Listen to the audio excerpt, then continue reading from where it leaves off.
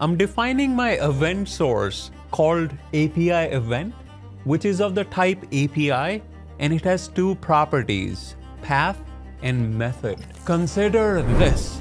You have an AWS Lambda function and you want to trigger it using a REST API in Amazon API Gateway. Can you do this in a few steps using AWS SAM and Cloud9 IDE?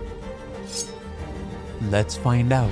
Let's start by navigating to the Cloud9 service, click on create environment and give it a name.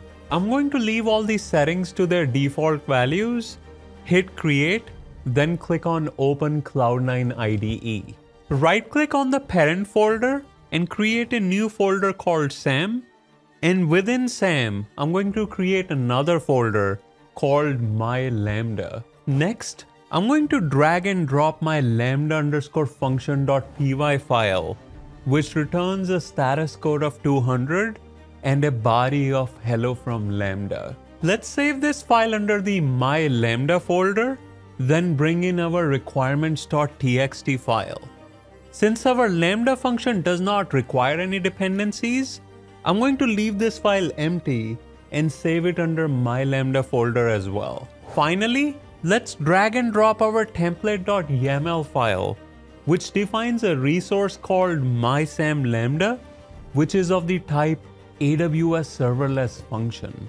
Under properties, I'm defining my handler, runtime, code URI, and a memory size of 128 MB. On line 12, I'm defining my event source called API event, which is of the type API and it has two properties, path and method. To summarize, if we were to invoke the slash hello path in our REST API using get method, our lambda function should get triggered. Let's save our template.yaml file in the SAM folder, then head to the bash terminal and type cd or change directory followed by SAM to go inside it. If you run the ls or list command, you should see your mylambda folder and the template.yaml file.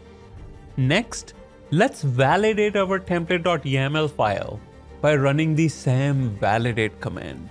Looks like our sam template is valid. If it had any errors, this is where it would show up. Next, let's package our SAM application by running the SAM package command with the hyphen hyphen output dash template dash file option. I'm also going to specify an S3 bucket where an archive for our lambda function can get uploaded. Looks like our SAM package command was successful. You can confirm this by double clicking on the output template file and confirming that the code URI is now pointing to the S3 bucket. If you hit refresh inside your S3 bucket, you should see an archive file there. Next, let's copy paste the SAM deploy command and run it with the capabilities option with the value of capability underscore IAM. This will give CloudFormation permission to create a basic execution role for our Lambda function. Make sure you gave your stack a name, then hit enter to execute your SAM deploy command. Give it a few minutes for the SAM deploy process to complete. In the meantime, you can also head to the CloudFormation service and monitor the progress there. Looks like our stack was successfully created. Let's confirm this by heading to the API Gateway service, then go inside your newly created API. Select the get method, hit test, then confirm that you see hello from Lambda in the response body. There you have it. But before you go, here's a question for you. Why did the AWS Lambda function go to the party